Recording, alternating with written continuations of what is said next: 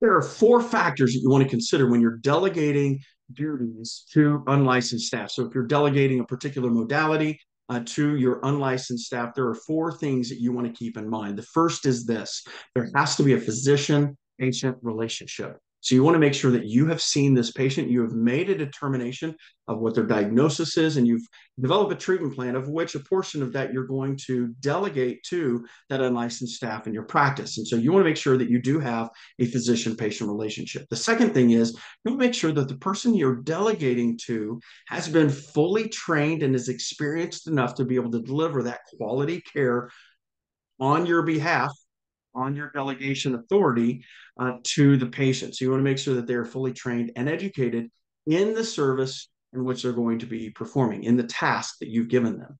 Uh, the third is this you want to make sure uh, that someone is on site who is licensed uh, to be able to uh, oversee or supervise or as the law states it provide assistance uh, to the person who is delivering that care this means that if you're the only physician, the only licensed personnel in your practice, and you delegate a particular duty to an unlicensed chiropractic assistant, in those cases, you can't delegate it and then go to lunch. Uh, that means you also can't delegate it on Wednesday and have the staff member come in on Thursday if you're going to be um, out on the links, uh, as an example. You want to make sure that someone who is licensed to perform those tasks is there and available on site to provide assistance. Uh, that's number three. The fourth thing is you want to make sure that whatever you're delegating is not just within the scope of practice. Of course, that that seems like a given, but also within your education, training, and experience.